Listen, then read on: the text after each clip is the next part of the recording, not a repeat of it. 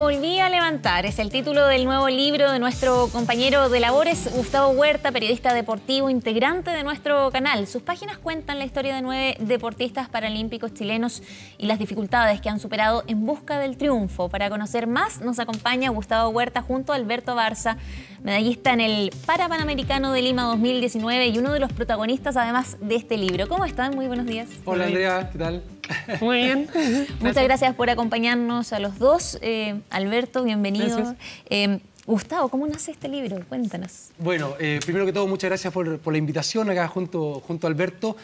empecé a conocer el deporte paralímpico a través del Comité Paralímpico de nuestro país, que estaba recién formándose, invitándome a diversas actividades, a diversos campeonatos en los que ellos participaban.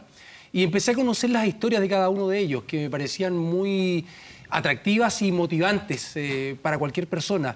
Eh, de alguna manera, con todos los obstáculos que ellos han tenido en su vida, no se victimizaban nunca y me daba cuenta dentro de la presencia de estos, de estos campeonatos de que eran deportistas de alto rendimiento que no eran cualquier deportista, que ellos tenían una preparación, que tenían un entrenamiento, tenían objetivos claros dentro del deporte y dentro de eso me empecé a percatar que efectivamente a muchos de ellos eh, el deporte de alguna manera los había ayudado a salir adelante, que se habían caído en distintas situaciones de su vida, algunos por enfermedad, otros por accidentes, que lo habían llevado a estar en una situación de discapacidad. Eh, y lograban de alguna manera, algunos de, manera consciente, otros no, de, de hacer una pausa en sus vidas. A propósito de esto, nosotros habitualmente, digamos, nosotros los, convencionales, como ellos dicen, los deportistas convencionales, los que no están en situación de discapacidad, vivimos la vida así con cierta comodidad, buscando el lujo muchas veces, y yo me da cuenta que ellos no, porque en algún momento, de manera consciente o no, hicieron como una pausa en sus vidas, de decir qué es lo que quiero, que nosotros podemos hacer lo que queramos, pero no siempre eso que elegimos es lo mejor. Y yo notaba que ellos elegían finalmente el deporte para mejorar sus vidas y de alto rendimiento, insisto. Entonces, eso me pareció atractivo y de alguna manera llevarlo a un libro, a un relato, a un cuento de cómo ellos habían de alguna manera sobrellevado situaciones muy adversas en su vida y que le pudiese servir a cualquier persona, porque a mí me ayudó mucho. Eh, conociendo su historia, sus vidas, reitero que no se victimizan y que quieren salir adelante. Entonces, yo con algunos de ellos lograba entrenar y de repente ahí me dolía un poco la cabeza, estaba un poco contracturado, y decía, oh, qué lata seguir entrenando. Y, los veía ellos, algunos que, por ejemplo, me tocó mucho compartir con Macarena Cabrillana y Robinson Méndez, otros dos protagonistas del libro, que venían de operaciones, de lesiones súper graves. Mm. Y estaban entrenando a full y eso a mí me, motivó finalmente para conocer un poco más de la historia y escribirla. Gustavo, presentemos a Alberto. Em, su historia parte con una frase. Tengo una ventaja, sé que mi enfermedad me está acabando. Súper fuerte. Exacto. ya de entrada a la historia de Alberto, uno queda como, uy, qué, heavy. Em, Sin duda. o sea, creo que uno se queda como... Eso es lo que te contaba, porque ellos ven la vida de esa manera. Lo que para cualquier persona podría ser una desventaja.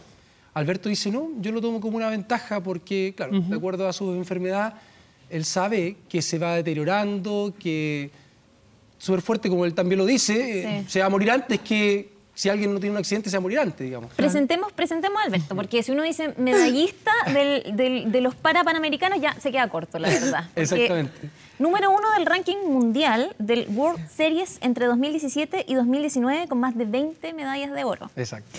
Ganó tres medallas de oro y dos de plata en los Juegos Parapanamericanos de Lima 2019 y en 2018 fue elegido como el mejor deportista paralímpico por el Circuito de Deportistas Deportivos. El mismo año obtuvo el Premio Nacional de Deporte otorgado por el Estado de Chile. Alberto, gracias por acompañarnos. Gracias a ustedes por invitarnos, gracias a Gustavo también por interesarse en el deporte paralímpico. Creo que es un gran gesto también y que de todos los medios estén cubriendo el deporte paralímpico también habla de un crecimiento gigante.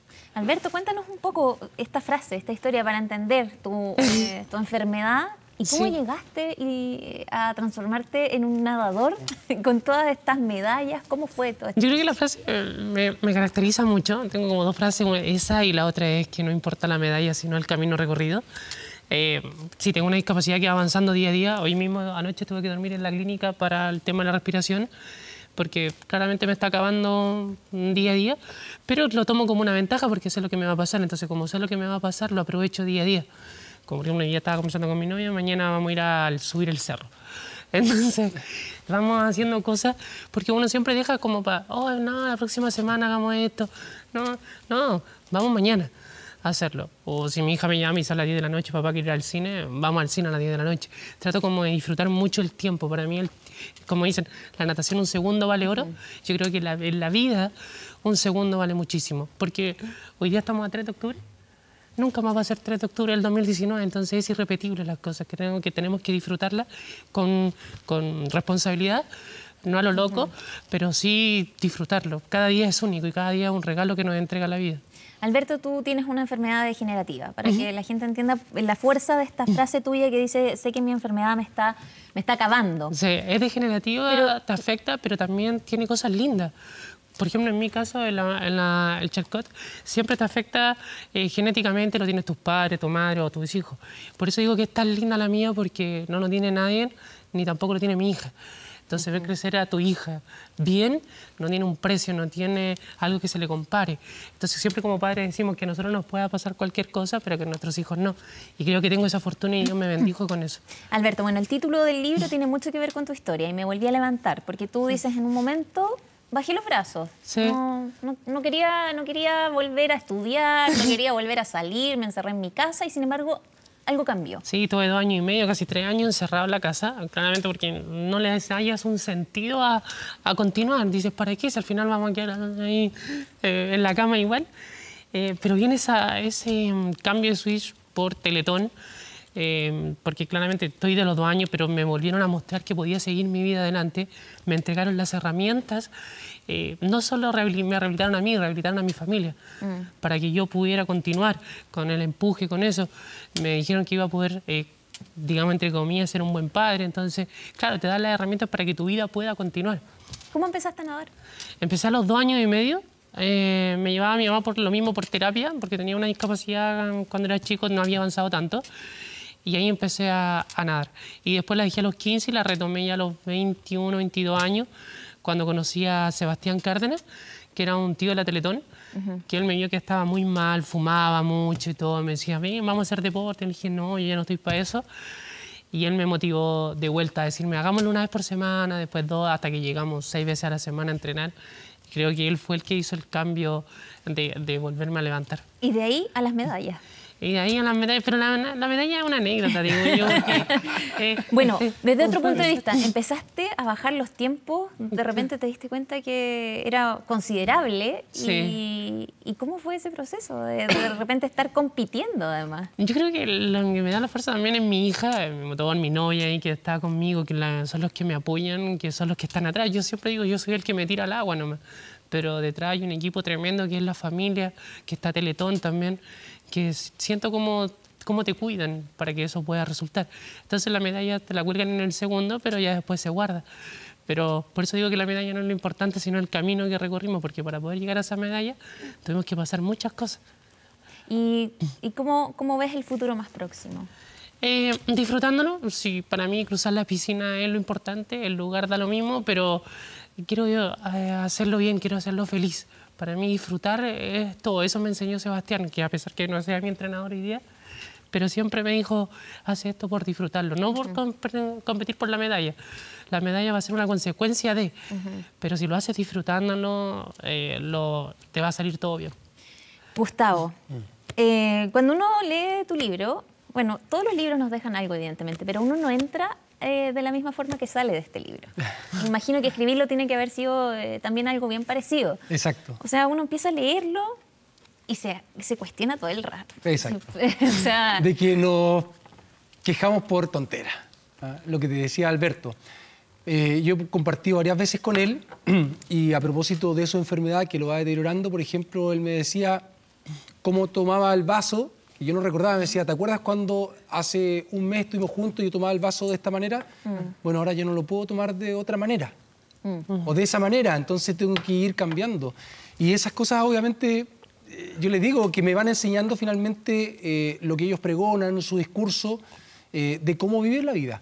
Eh, por ejemplo, Alberto, a propósito de todos estos logros y lo que acaba de conseguir también los Juegos Panamericanos de, de Lima, él está clasificado para los Juegos Paralímpicos de Tokio 2020. Pero él no sabe si va a ir. Claro. Él no se puede proyectar por su enfermedad, porque no sabe, eh, hace un mes movía el brazo de una manera, braceaba con un estilo y eso después no lo puede ir haciendo. Entonces son situaciones que uno dice, chuta, y qué, qué gran logro ir a unos Juegos Paralímpicos, pero Alberto se lo toma, ¿sabes, compadre? Si no voy, no voy, no. pues.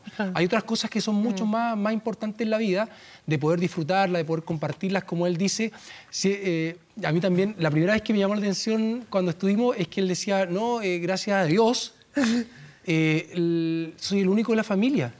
Y yo eso siempre lo agradezco, que sea yo el único, porque es una enfermedad hereditaria, genética, que perfectamente deberían haber tenido mis padres, mis hermanas, y en este caso mi hija, y soy el único, así que todos los días agradezco que soy el único que la tiene. Sí.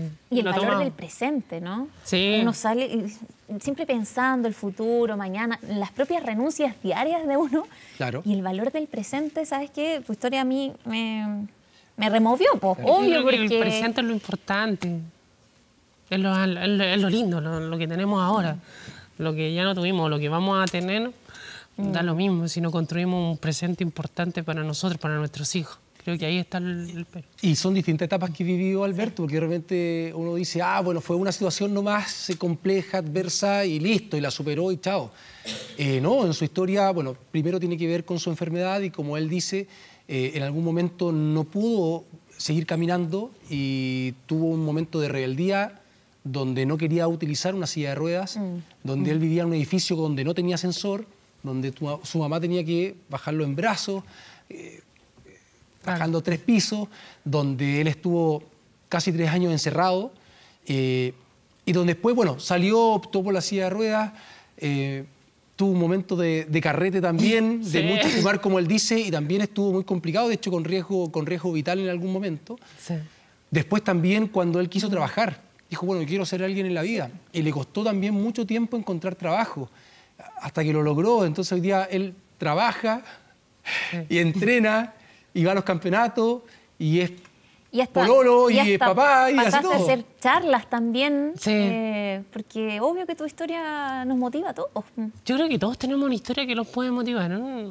Basta en como tomar o eh, percibir eh, esa historia. Para mí me inspira a mi hija tremendamente. A mi novia la admiro muchísimo por todo lo que hace. Entonces encuentro que cada uno va teniendo una historia que puede inspirar a, a otro.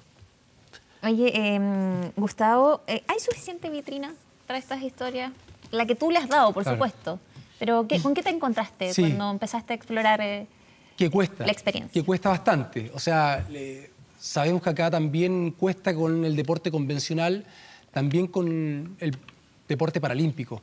Pero se ha hecho un gran trabajo, eh, creo que Alberto también lo puede corroborar. Antes, eh, bueno, era una federación paralímpica y era horrible. Eh, de hecho, también ahí cuento la historia, por ejemplo, Juan Carlos Garrido. Él clasificó a unos Juegos eh, Paralímpicos y en Atenas 2004, estando allá, no pudo participar por una negligencia de la dirigencia de ese entonces. Entonces era horrible, nefasto, no tenían apoyo económico, no tenían apoyo logístico, absolutamente nada. Y eso en el último tiempo ha, ha ido cambiando. Eh, asumió un presidente como Ricardo Elizalde, que le dio toda una vuelta, transformó la federación finalmente en Comité Paralímpico Chileno y creo que si bien falta todavía, eh, se han generado muchos recursos para la preparación de cada uno de ellos en el, deporte.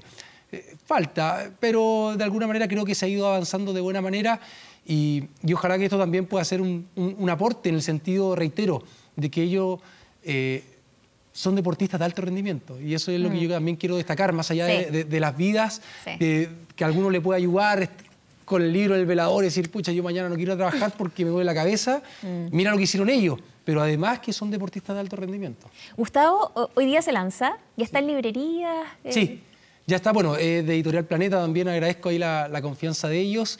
Eh, ya está en librerías, así que lo pueden ir a, comprar eh, en todas las librerías, las principales librerías de, nuestro país y hoy día es el, lanzamiento.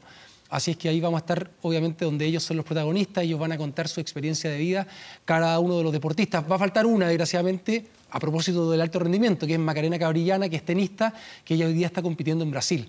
Y que desgraciadamente no puedo estar, pero los ocho protagonistas también de la historia van a estar ahí contando su experiencia. Bueno, va a estar Alberto y para, ir terminando, Alberto, el hecho de participar en este, en este libro, ¿cómo fue la experiencia de, conversar con Gustavo, de contarle tu historia, de que ahora sea un libro tu historia? No, entretenido. Yo creo que Gustavo ya la sabía desde antes porque nos, habíamos visto muchas veces, en Toronto también nos acompañó cubriendo los, los Panamericanos de ese entonces. Entonces fue como volver a, conversar una taza de café de nuevo nomás, más que nada. Eso fue así. Fuimos al departamento, así que ahí estuvimos una grata mañana también. Bueno, éxito eh, con el libro, el lanzamiento. Muchas gracias, Alberto, por acompañarnos, por contarnos también tu historia. Para quienes todavía no, no, tienen la oportunidad de leerlo, bueno, ya saben que está en librerías, así que ahí está todo disponible. Muchas gracias a los dos. Gracias a ti, que estés bien. Chao.